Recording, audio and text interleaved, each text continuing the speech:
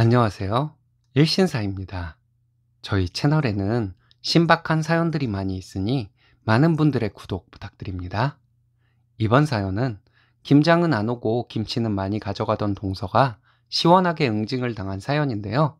후기도 있습니다. 함께 보시겠습니다. 안녕하세요. 저는 결혼 11년 차 40대 초반 아줌마입니다. 저희 시부모님 1년 중 가장 큰 이벤트인 김장 때가 다가오니 작년에 있었던 일이 생각이 나서 글을 씁니다. 판에서 보면 벌써 추석 얘기는 한물 가고 벌써 김장에 대한 스트레스로 글을 올리시는 분들이 있네요. 일 자체가 힘들어서 김장을 하러 가기 싫다는 글도 있지만 대부분이 일은 안 하고 김치만 받아가는 얄미운 형제 때문에 김장에 가기 싫다는 글이더군요. 저도 그 얄미운 시동생네로 인해 스트레스 많이 받았었지요. 신랑과 결혼을 하고 그해 겨울부터 저는 시댁에 김장을 하러 갔습니다. 저희는 서울에 살고 시댁은 경기도 외곽에 있어요. 시부모님의 고향은 원래 저희가 현재 살고 있는 서울의 한 동네입니다. 아버님 은퇴하시고 전원 생활을 하시겠다고 시골 동네로 이사를 가신 거죠. 지금 시부모님이 사시고 계신 곳으로 가신 때가 저희 결혼한 지 1년 되었을 때였어요. 시부모님은 그곳에 집과 옆에 텃밭을 매입하셔서 들어가 사시고 계십니다. 시댁 옆에 밭은 텃밭이라고 하기에는 좀 커요.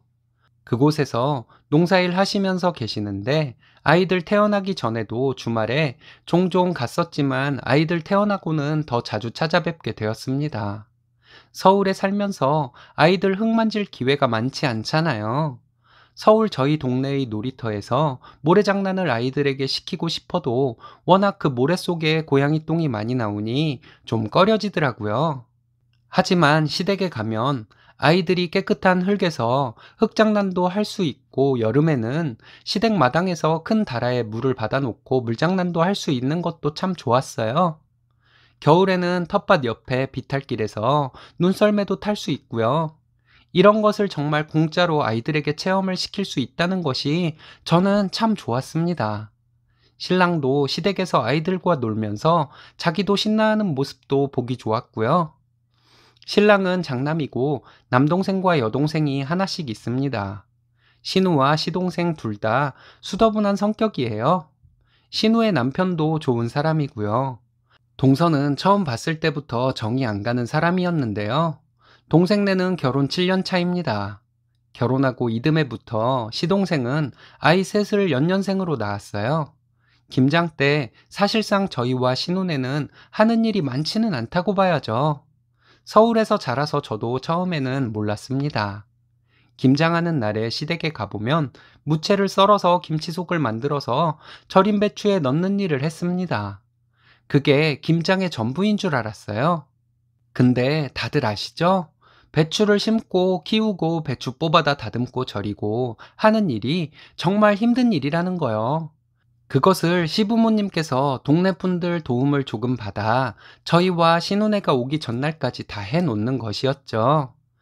김장날은 김치도 하고 수육을 해서 방금 만든 김치와 함께 먹고 아버님 진열장에 있는 와인도 제 마음대로 꺼내서 먹고 하면 허리는 며칠간 아프지만 저도 나름 재미있었습니다.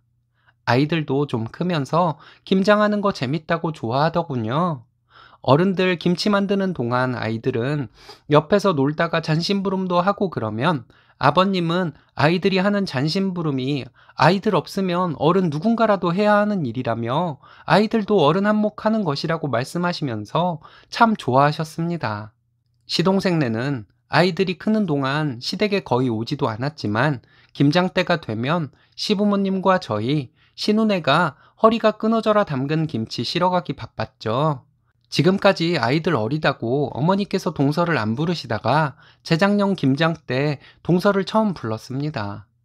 동서는 친정에 가서 김장해서 먹겠다고 하며 김장 때 다시는 자기를 부르지 말라고 했답니다. 동서가 어머님께 말은 그렇게 했지만 그해 김장날 시동생네는 점심 먹을 때쯤에 시댁에 왔더라고요. 그리고는 수육과 겉절이에 점심 먹고 동서는 아이들과 집안에만 있다가 가져온 김치통에 김장김치 꽉꽉 채워서 갔어요. 아버님이 저녁 먹고 가라 했지만 아이들 때문에 빨리 집에 가야 한다며 집에 갔습니다. 그날 저도 감기 기운도 좀 있어서 컨디션도 안 좋은데 시동생네가 그렇게 얄미운 행동을 하니 일도 더 힘들게 느껴지고 싫은 소리 한마디 안 하시는 시부모님도 원망스러운 마음이 들었습니다. 그날 집에 와서 김치통들을 집에 올려와서 김치 냉장고에 모두 넣고 씻고 나니 온몸이 다 아프더라고요. 신랑에게 시동생네 얄밉다고 했더니 그렇게 생겨먹은 놈을 어쩌겠냐고 하더군요. 작년 김장을 할 때는 한참 전부터 저희가 주말에 가서 시부모님과 배추 모종 내는 것도 함께 했습니다. 배추 모를 심고 옆에 알타리무도 키우고 했는데 재작년에 동서가 그렇게 얄미운 행동을 했던 것이 어머님도 못마땅하셨는지 이번에는 김장하러 오는 사람만 김치를 줄 것이라고 했어요. 말씀은 그렇게 하셨지만 저는 속으로 어머님이 설마 진짜로 그러실까 하고 어머님 말씀을 반신반의했습니다. 게다가 저와 신랑이 시부모님과 함께 배추 모종을 낼 때 개수를 세어봤는데 시동생네까지 김치를 주고도 남을 만큼이었거든요. 이번에도 얄미운 동선애가 일은 안 하고 김치는 받아가겠구나 하는 생각에 정말 스트레스 받더라고요. 작년 김장 때 저희 가족은 토요일에 가서 배추 다듬고 절이는 것까지 함께 했어요. 그리고 일요일에 김장을 완료하기로 했습니다. 김장하기 며칠 전에 어머님은 동서와 통화를 했대요. 이번에도 동서는 친정에서 김장을 할 것이라고 했다더군요. 어머님은 그래도 시동생이 엄마 김치를 찾는다며 동서에게 김장에 오라고 했대요. 동서는 그날 스케줄을 봐야 한다고 얼버무리면서 전화를 끊었다고 합니다. 그런데 김장 당일 시동생네는 당당히 새로 구입한 16리터 김치통 4통, 그리고 어머니 댁에서 가져갔던 빈통 한 통, 이렇게 총 5통의 김치를 가지고 왔더라고요. 그것도 역시나 점심 먹을 시간에요. 저희가 전날에 시댁에 가서 자고 새벽 일찍 일어나 새벽밥을 먹고 일을 했던지라 점심을 11시도 채 안 되어서 먹었습니다. 아침 일찍부터 일 도와주시러 오신 동네 아주머니들도 시장하실 것이라며 아버님이 일찍 점심을 먹자고 하셨어요. 신혼에는 일찍 와서 아침을 안 먹고 11시에 밥을 함께 먹었죠.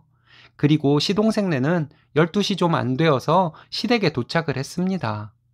원래대로라면 어머님이 시동생네 오자마자 밥부터 먹었는지 확인을 하셔야 하는데 그날은 밥 먹었냐 소리도 안 하시더군요. 그날은 웬일인지 수육도 하지 않고 점심은 중국 음식을 시켜 먹었습니다. 시동생을 보고도 시부모님 두 분 다 본체만 채 하셨습니다. 아니나 다를까 동서는 춥다고 아이들과 집안에만 있었습니다.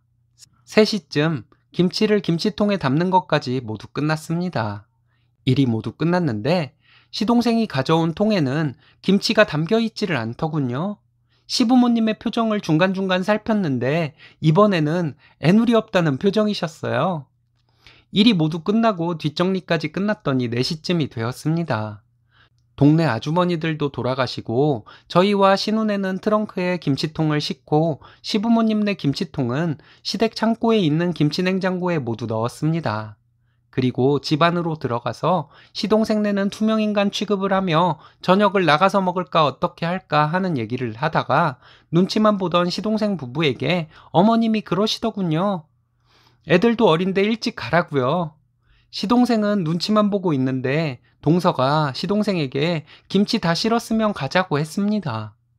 어머님이 동서에게 너 친정에서 김치 한다길래 너희 거는 안 했는데 설마 김치 가져가려고 온 거니? 이러시는 거 있죠? 동서의 놀란 표정과 떨리는 입술, 옆에 있던 남편이 동서에게 재수씨, 설마 일 하나도 안 하시면서 김치 가져가려고 김치통들 가져온 거였어요?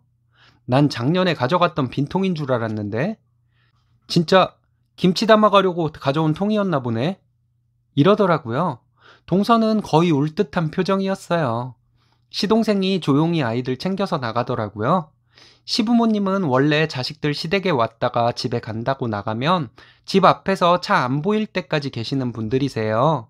근데 그날은 거실에서 간다고 인사하는 시동생 부부에게 그래, 조심히 가라 라고 인사하시고 나가보시지도 않았습니다. 대신 저와 남편이 문 앞까지 배웅을 나갔습니다. 차에 타는 시동생에게 남편이 재수 씨가 일하러는 안 오고 여태껏 너 시켜서 동치미고 열무고 싫어오라고 해서 갖다 먹었다며? 너도 이 새끼야 양심이 있어봐라. 우리랑 땡땡이네는 와서 일도 하고 김장 양념값도 엄마 드리는데 니네는 그렇게 김치만 갖다 먹고 싶냐? 내가 이번에도 니네 거 김장해주면 다시는 김장하러 안 온다고 엄마한테 얘기했다. 양심 좀 가지고 살아 이 새끼야. 이랬어요. 너무 고소해서 제가 옆에 있다가 여보 조용히 해. 동서 듣겠어. 양심은 도련님만 없는 건가 뭐? 라고 동서 다 들리게 얘기했습니다. 동생네를 배웅하고 저녁 먹고 저희도 집으로 돌아왔습니다. 집에 와서 씻고 나니 개운하더라고요. 신랑에게 진짜로 어머님께 시동생네 김치 주지 말라고 했냐고 물었더니 아니라고 했습니다. 시동생이 부모님께 서운한 것보다는 자기에게 서운한 것이 나을 것 같아서 말을 그렇게 했다더군요. 저는 시동생네 김치 못 가져간 것만으로도 신이 나서 신랑에게 역시 당신은 생각이 깊어 라는 사실과는 전혀 다른 칭찬을 했어요. 시동생네 김치 안 준 것이 누구의 생각인지 저는 중요하지 않거든요. 이번에도 얄미운 동서가 김치만 쏙 받아갔으면 나도 내년부터 김장 안 가! 이렇게까지는 아니어도 매년 스트레스를 받았을 텐데 그럴 일이 없어서 정말 행복하다는 생각이 들 정도였습니다. 이래야 공평하죠. 고생하는 사람의 감정을 위해서라도 일 안 하는 자는 먹지도 못하게 해야죠. 까짓 거 좀 해주지 형제 간에 너무하다고 하실 분도 계실지 모르겠지만 제가 그만큼까지는 마음이 넓지 못한가 봐요. 어머님이 얼마 전에 동서와 통화할 때 너네는 친정에서 김장해서 이번에도 안 올 거지? 하고 물어보신 것에 동서가 확실하게 대답을 안 하고 얼버무렸다는데 올해는 동서가 어떻게 나올지 봐야겠어요. 만약에 처음으로 동서가 김장에 참여한다면 제가 동서 좀 빡세게 굴려주려고요. 그동안 핑계대면서 김치는 엄청 받아갔는데 그거 동서 부부가 다 먹기나 했겠어요. 아이들은 어려서 김치 거의 안 먹을 거 뻔하고요. 여기저기 동서 친정에 인심이 났었겠죠. 어쨌든 이번 김장날에 동서 행동을 지켜볼 생각입니다. 후기입니다. 댓글 잘 읽어봤습니다. 이 글을 보낼 때 약간 조마조마했었는데 김장날 얄미운 시동생네 김치 안 주고 그냥 보낸 저희 시부모님 칭찬이 대부분이라서 안심이었습니다. 시동생네가 아이가 어려서 그런 것인데 제가 속이 좁다고 욕하시는 분들도 많으실 것이라 생각했지만 그런 말씀하신 분은 거의 없는 것도 다행이라 생각했어요. 지난번 김장에는 시동생네가 늦지 않게 왔더군요. 시동생네 아이들도 어느 정도 커서 우리 아이들과 어울려 집안을 들락거리며 놀 정도였습니다. 12월 초였지만 그날 날이 따뜻해서 아이들이 밖에서 놀기에도 참 좋았습니다. 시부모님과 일 도와주러 오신 동네 아주머니 두 분, 저희 부부, 신우부부, 시동생 부부는 김치 속 버무려서 김치 속 채우며 김치를 만들고 아이들은 아이들끼리 잘 놀았습니다. 없던 일꾼 두 명이 더 생기니 일이 훨씬 수월해진 것 같았어요. 시동생과 동서는 일을 잘 못하긴 했지만 절인 배추라도 나르고 김치통이라도 나르고 했습니다. 이 일은 원래 우리 아이들이 하던 것이었는데 시동생 부부가 이 일도 하고 김치 만드는 것도 하니 확실히 일이 일찍 끝났습니다. 저는 동네 아주머니들과 우리 가족들 함께 먹을 수육을 삶느라 왔다 갔다 해서 김치 만드는 일은 별로 안 했네요. 고기 나르고 다 먹고 나서 접시 치우고 솥 닦고 했더니 조금 있다가 김장이 끝나버렸어요. 작년까지만 해도 점심시간 조금 지나면 허리도 아프고 여기저기 아파서 며칠 고생하겠구나 하는 생각이 들었었는데 그런 것도 없었습니다. 또 중간중간 아이들 울거나 해서 동서가 가보려고 하면 어머님이 콕 집어서 저보고 가보라 하셔서 저는 더 조금밖에 일을 하지 못했습니다. 저희 어머니 센스 있으시죠? 일 다 끝나고 각자 김치통 트렁크에 싣는데 시부모님이 저희 친정을 비롯해서 각 사돈댁에 갖다 드리라고 김치통 하나씩 더 주셨습니다. 항상 있었던 일이긴 했지만 그날은 제가 허리가 안 아파서인지 사돈까지 챙겨주시는 시부모님께 더 감사한 마음이 들었어요. 아버님께서 다들 힘드니 저녁은 나가서 먹자고 하셔서 저녁 먹고 다들 곧바로 출발하려고 집에 갈 준비 다 해서 식당으로 갔습니다. 밥 먹으면서 신랑이 시동생과 동서에게 부모님 집에 자주 오라고 했어요. 아이들 어릴 때 흙 많이 밟고 살아야 한다고요. 와서 부모님 밭일도 거들고 아이들은 흙에서 놀면 따로 어디를 놀러 가거나 할 필요도 없다고 했더니 시동생도 알겠다고 하더군요. 밥 다 먹고 부모님께 인사드리고 집으로 와서 김장김치가 담긴 김치통으로 김치냉장고를 채우고 나니 뿌듯했습니다. 동서는 이번 김장 때 처음으로 일을 해봤으니 며칠 고생했겠죠? 힘들었던 기억에 올해 김장 때 안 오려 할지도 모르겠네요. 와서 함께 일하지 않으면 시부모님께서 김치 안 주시니 안 오고 김치를 사 먹던지 와서 일하고 김치 가져가던지 알아서 하겠죠. 어쨌든 김장날 안 오고 김치는 가져가는 얌체 같은 사람은 없어서 김장날 힘들어도 상관없을 것 같습니다. 후기가 궁금하시다는 분들이 많아서 이렇게 후기를 보냅니다.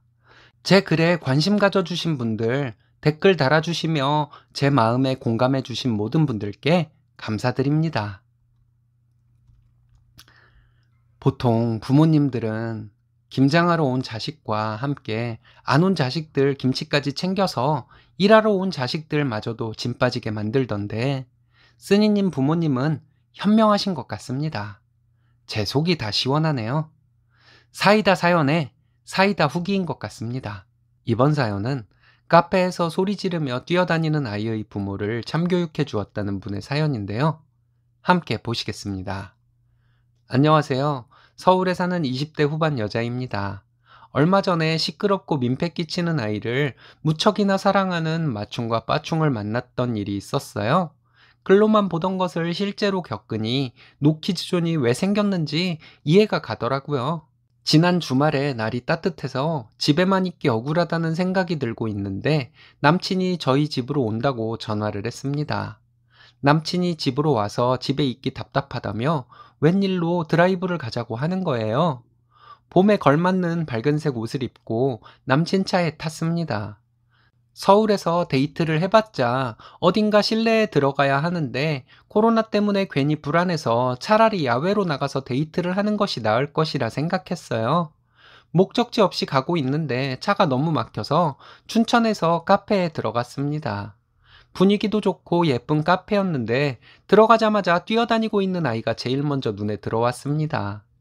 그때까지만 해도 아이가 있는 가족이 답답해서 놀러 다니는구나 하고 별 생각 없이 자리에 앉았습니다. 카페의 자리는 반 정도 차 있었고요. 카페에서 핸드폰으로 1시간 뒤, 2시간 뒤 교통 상황을 보면서 남친과 얘기하고 있는데 아이가 소리를 지르며 뛰어다니더라고요. 저는 성격이 좀 무딘 편이라 그때까지는 별로 신경 안 썼는데 너무 시끄러우니 보호자가 누구인지 살펴보게 되더라고요. 남친은 아기를 무척이나 좋아하는 사람입니다. 저희 언니 집에 남친이 놀러 가면 지치지도 않고 조카와 놀아주곤 했어요. 지금은 코로나 때문에 언니 집에 놀러 가기 조심스러워서 자주 못 가는데 언니가 남친이 자주 못 온다고 아쉬워할 정도입니다. 시끄럽게 카페 안을 뛰어다니는 아이의 보호자가 누구인가 살펴보니 그 아이의 엄마, 아빠, 할머니가 보였습니다.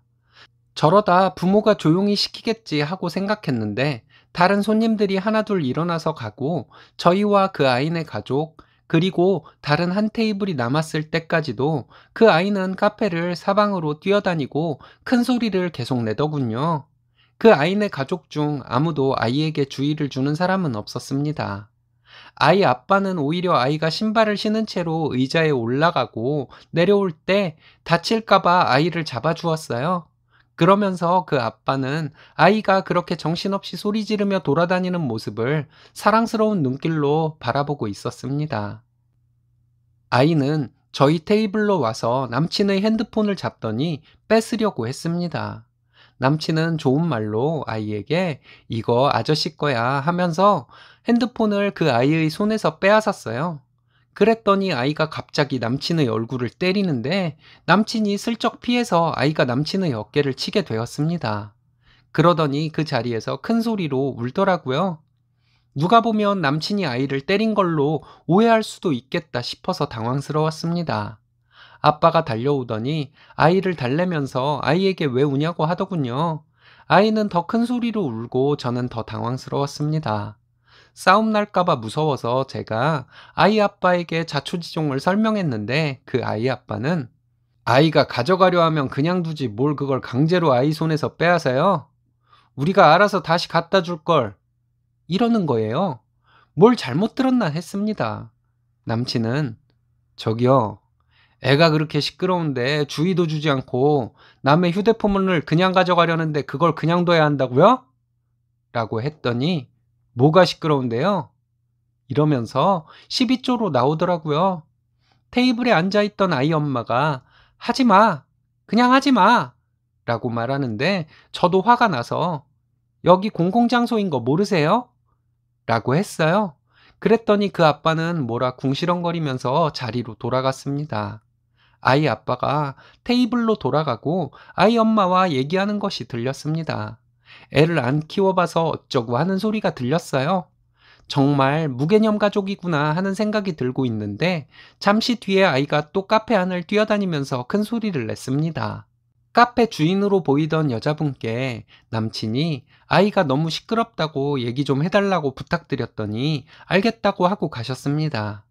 남친이 화장실 간 사이에 아이 아빠와 엄마가 저에게 오더니 저기요, 애가 좀 시끄럽게 했다고 그렇게 하시는 게 아니에요. 애가 맨날 집에만 있다가 밖에 나오면 그럴 수도 있는 거지. 그렇게 애를 울리기까지 해서야 되겠어요? 아이 엄마가 참 고상한 말투로 이렇게 얘기하는데 이 고상한 말투는 뭐지? 하는 생각밖에 안 들었습니다. 차분하게 얘기를 하려고 하는데 저도 목소리 톤이 높아지더라고요. 저에게 그 부부가 훈계를 하듯이 말을 하는 것을 끊고 저기요, 애는 뭘 모를 수 있어요. 근데 부모가 당연히 주의를 주셔야죠. 그쪽 아저씨 아까 뭐라고 했어요? 뭐가 시끄럽냐니요?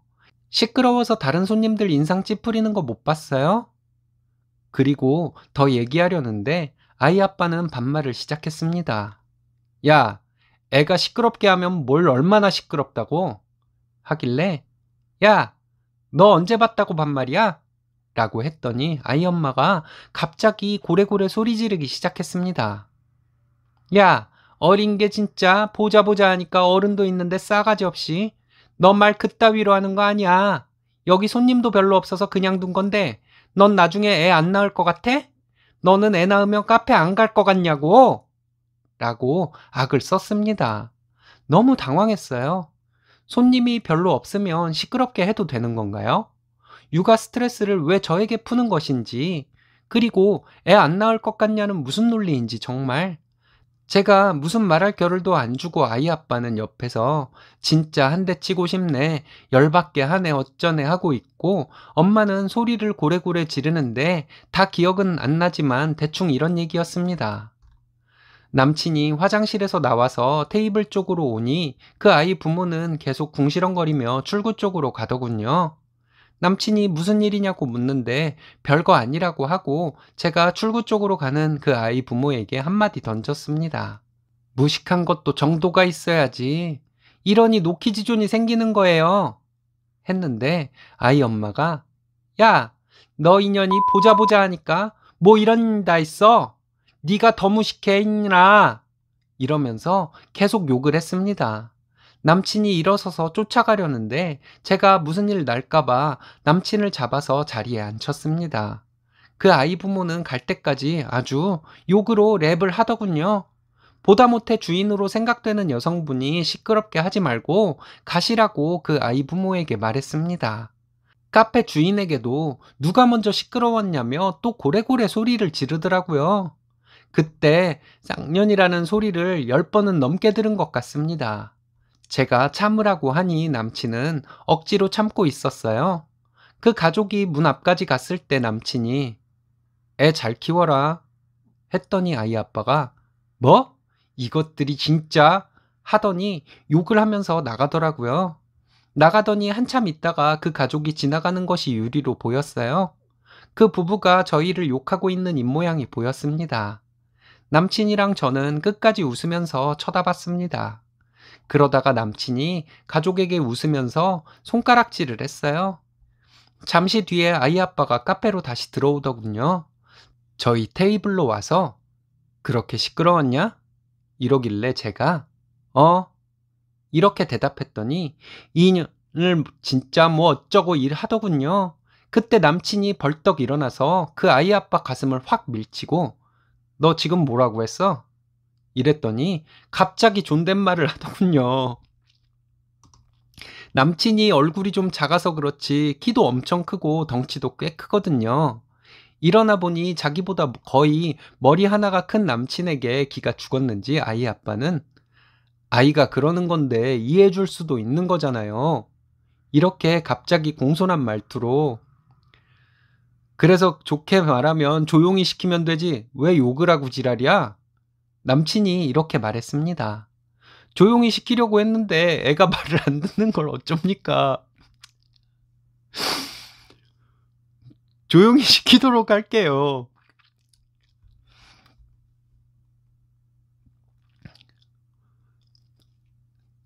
정말 놀라워 봤습니다.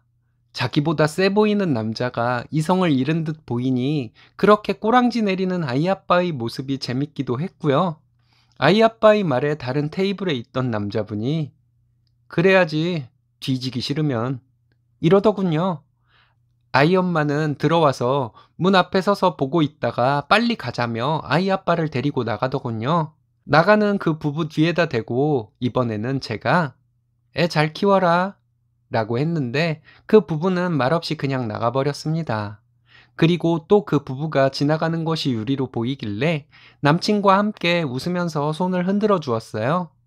이런 일부 벌레 같은 인간들 때문에 힘들게 아이 키우시는 부모님들이 오히려 더 눈치 보고 피해를 보시는 것 같아요.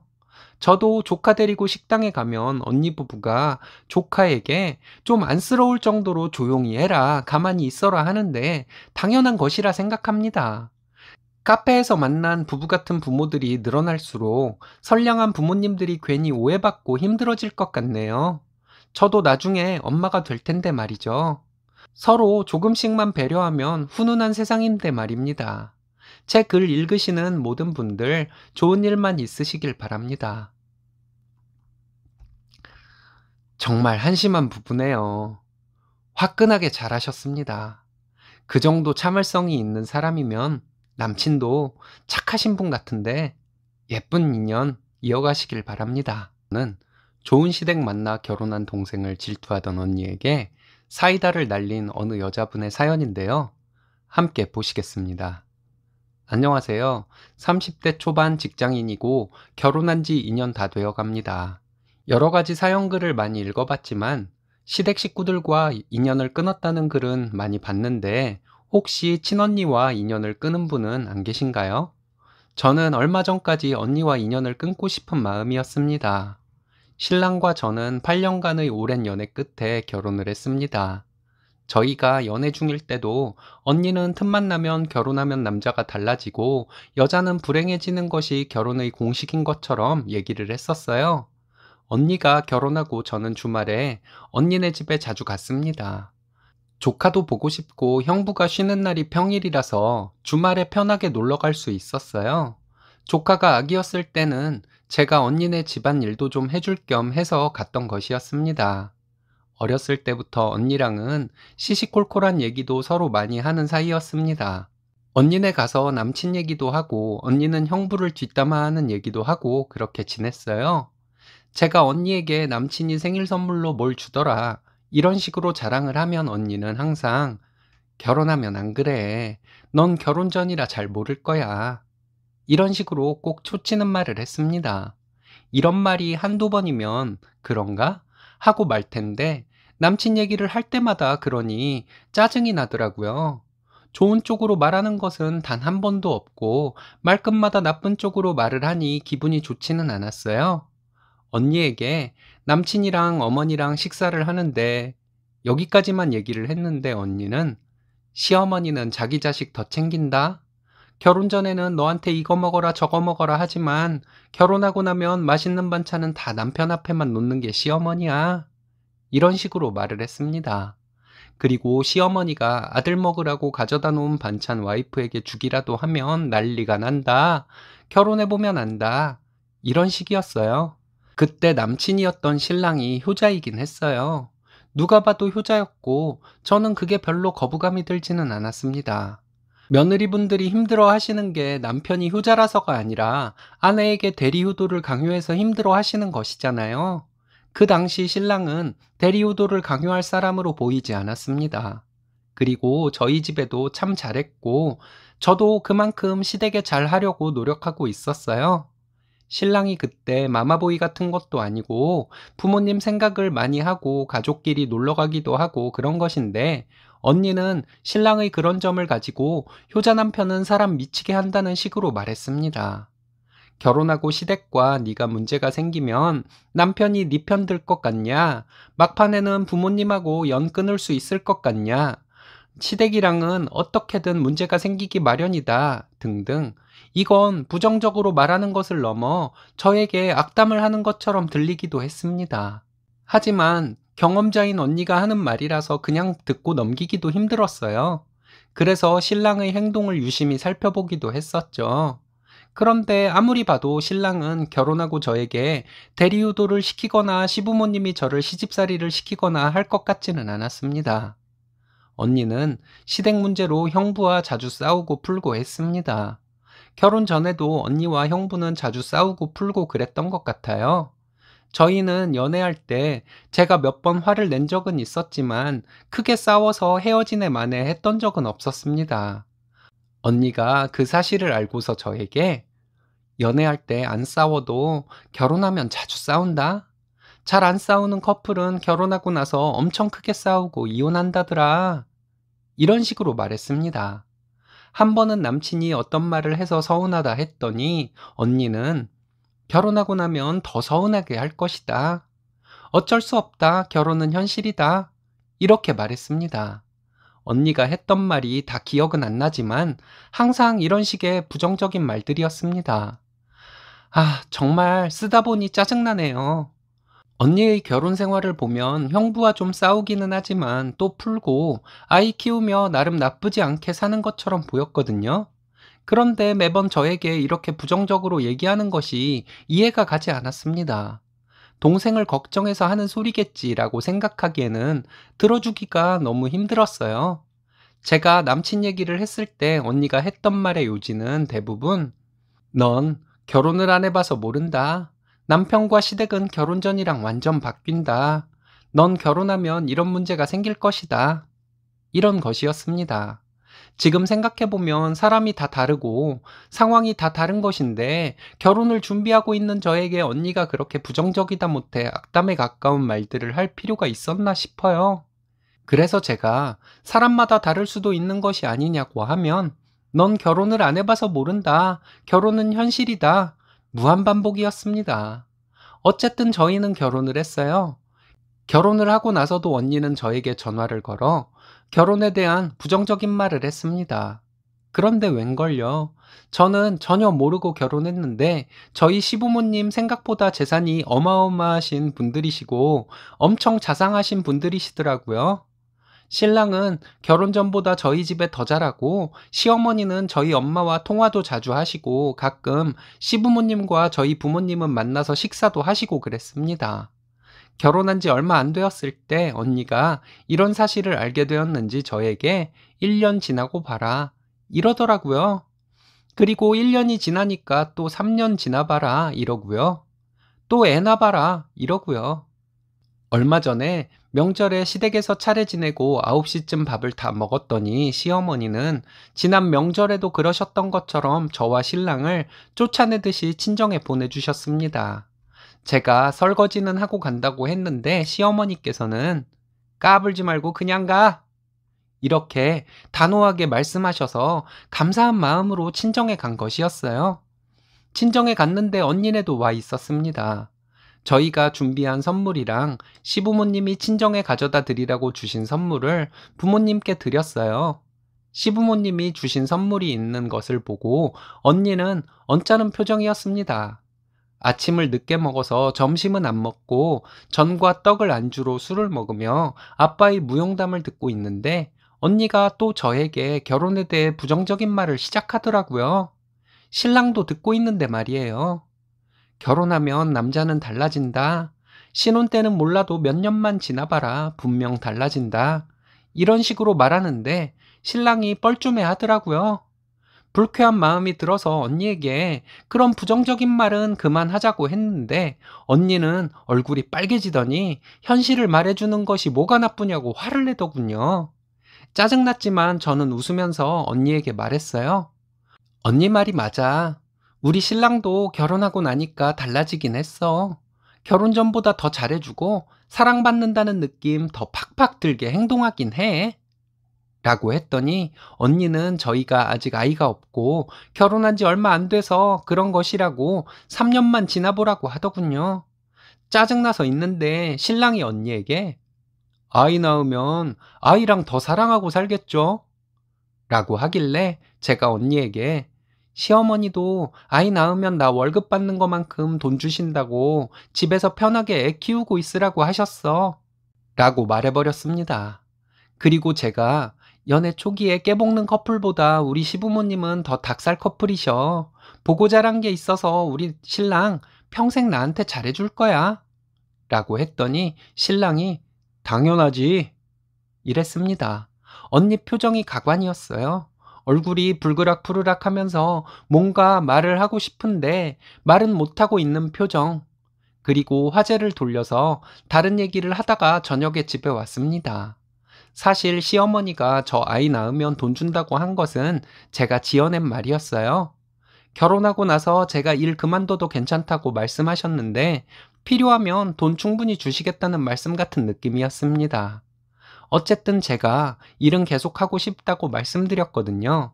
그 뒤로는 그런 말씀 안 하셨어요. 처음에는 언니가 하는 부정적인 말들이 현실적인 조언인 것 같기도 했는데, 지나면서 겪어보니 저에게는 해당되지 않는 말들이라서 그만 듣고 싶었습니다.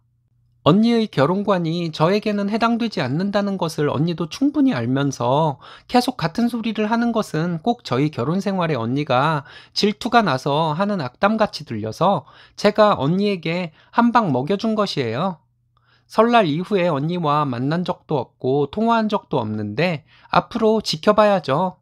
또 악담하면 저는 언니에게 시부모님 자랑, 신랑 자랑을 마구 하려고요. 읽어주셔서 감사합니다. 언니는 동생이 시집 잘 간 것이 배가 아픈가 봅니다. 아주 잘하셨어요. 동생이 잘 되면 축하를 해야지. 왜 질투를 하는지 이해가 안 가네요. 오늘의 사연은 여기까지입니다. 재밌으셨다면 좋아요, 구독 부탁드려요. 일신사는 여러분들의 사연으로 제작됩니다. 많은 사연 제보 바랍니다. 여러분들의 사연은 아래 메일 주소로 부탁드려요.